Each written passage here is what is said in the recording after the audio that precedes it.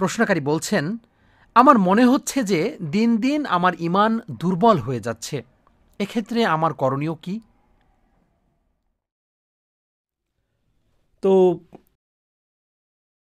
আমরা সোশ্যাল মিডিয়ার যুগে বসবাস করছি।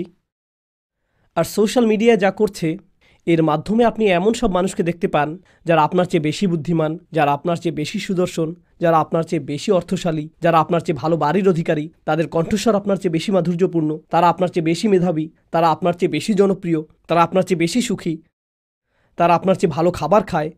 তাদের যা কিছু আছে তা সবই ভালো, যার কারণে আপনার মনে হয় যে আপনার যা কিছু আছে তা সবই খারাপ। আর তখন আপনি আল্লাহর কাছে বলেন, ও আল্লাহ, তাদের জীবন এত ভালো কেন? আমার জীবন এত খারাপ কেন? দিন দিন আমার ইমান দুর্বল হয়ে যাচ্ছে। সম্ভবত আপনার উচিত কিছু সময়ের জন্য টিকটক বন্ধ রাখা। আপনার ইমানের অবস্থার উন্নতি হবে। শয়তান চায় যে আপনি তুলনার মধ্যে জীবন অতিবাহিত করুন।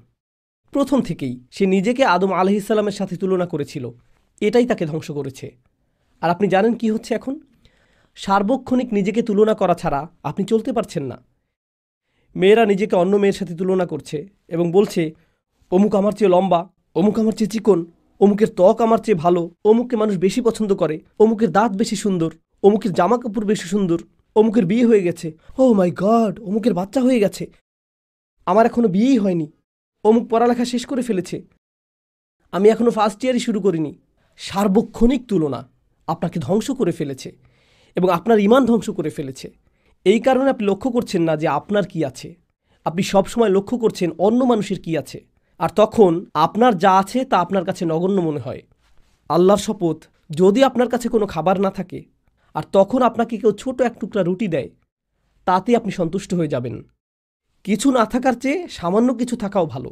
কিন্তু আপনার কাছে যদি সেই এক টুকরা রুটি থাকে, আর আপনি তাকিয়ে দেখেন যে অন্য একজনের কাছে আরও বড় রুটির টুকরা আছে, তখন সহসাই সেই এক টুকরা রুটিতে আপনি আর সন্তুষ্ট থাকবেন না। যদি আপনি অন্য কোনো দিকে না তাকিয়ে নিজের মতো করে থাকেন, এটাই যথেষ্ট। আল্লাহ বলেছেন, লা তাতামান্নাও মা ফাদ্দাল্লাহু বাদকুম আলা বাদ। তোমরা আকাঙ্ক্ষা করো না সেই সবের, যার মাধ্যমে আল্লাহ তোমাদের একের উপর অপরকে শ্রেষ্ঠত্ব দান করেছেন। অন্য সেই সকল জিনিসের প্রতি আকাঙ্ক্ষা করতে থাকবে না। লির রিজালি নাসিবুম মিম্মাক্তাসাবু অলিন নিসা ই নাসিবুম মিম্মাক্তাসাবনা। পুরুষরা যা উপার্জন করেছে, তাতে তাদের একটি অংশ রয়েছে এবং নারীরা যা উপার্জন করেছে, তাতে তাদের একটি অংশ রয়েছে। অস আলুল্লাহ মিন ফাদলিহি, অর্থাৎ যদি তোমরা উত্তম কিছু আশা করো, আল্লাহর নিকট যা আছে, সেই অনুগ্রহের জন্য প্রার্থনা করো। আল্লাহর কাছে এই প্রার্থনা করবে না যে, ও আল্লাহ, তার কাছ থেকে এটা কেড়ে নিয়ে আমাকে দিন।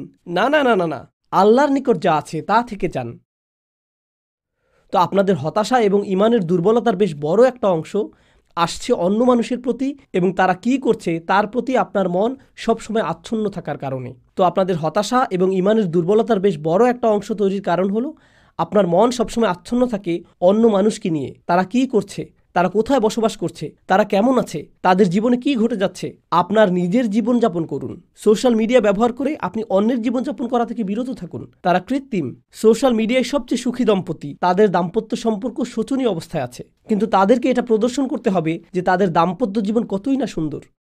কারণ এর ফলে তাদের সোশ্যাল মিডিয়াতে নেতিবাচক প্রভাব পড়বে। এই জগৎটা কৃত্রিম। এর বড় একটি অংশ কৃত্রিমতায় পূর্ণ। আর এটাকেই আপনি মানদণ্ড মনে করছেন। এটাই আমাদের সময়ের সবচেয়ে বড় সংকটগুলোর একটি। আপনি সবসময় অপর্যাপ্ততা এবং অপরিপূর্ণতার অনুভূতিতে ভুগছেন, অথবা আল্লাহ আপনাকে পর্যাপ্ত দেননি। এটা ইমান দুর্বল করার বড় কারণগুলোর একটি। বড় কারণগুলোর একটি। আল্লাহ আপনাদের সবাইকে এটা থেকে রক্ষা করুন।